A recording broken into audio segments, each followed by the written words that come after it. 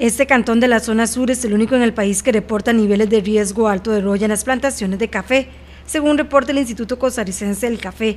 Las lluvias en los últimos meses en este lugar hace que las plantaciones estén más vulnerables. Eh, en los, eh, a finales del mes de diciembre, inicios de, del mes de enero, eh, se presentaron algunas lluvias y además es rocío y eso favorece el desarrollo de la enfermedad. Entonces, Cotobrus tiene un poquito de de presencia de la enfermedad eh, superior a lo que es Pérez Celedón, pero todavía están en, los rangos normales. Esperaríamos que con la disminución de las eh, lluvias, eh, entrado la época seca, la enfermedad vaya, vaya a disminuir. Em, eso está supeditado, lo sabemos, a, la presencia de agua. En este periodo, si no hay lluvias, la situación en Cotobrú se puede normalizar. Por esa razón, hacen un llamado a los productores a no descuidar las plantaciones.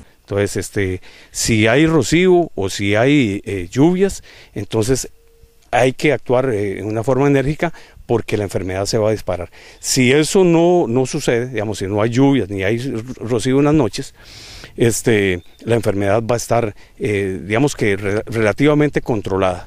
Esperando la época de lluvia en abril, mayo, que sí habría que hacer este eh, eh, el control el control químico para, para ir bajando la incidencia. Por ello recomiendan a los productores estar atentos, considerar la aplicación de fungicidas luego de la poda, únicamente donde existan condiciones de clima favorable a la enfermedad.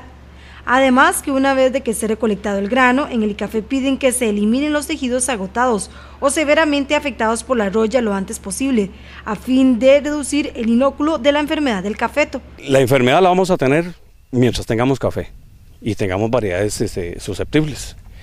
Entonces, no podemos este, eh, descuidarnos, digámoslo así, eh, pero digamos que en estos momentos estamos en, a pesar de que hay un incremento en, en esa zona de, Coto, este, si las condiciones de, clima eh, se, van, se estabilizan, lo lógico es que las condiciones para que la, la roya se desarrolle no va a ser favorable entonces va a estar relativamente eh, controlada. Sin embargo, es la enfermedad más importante del cultivo a nivel del mundo y por lo tanto no podemos este, estar a brazos cruzados. En el ICAFE esperan que en el cantón de Cotobruz no se vea afectado más por esta enfermedad y que se bajen los niveles.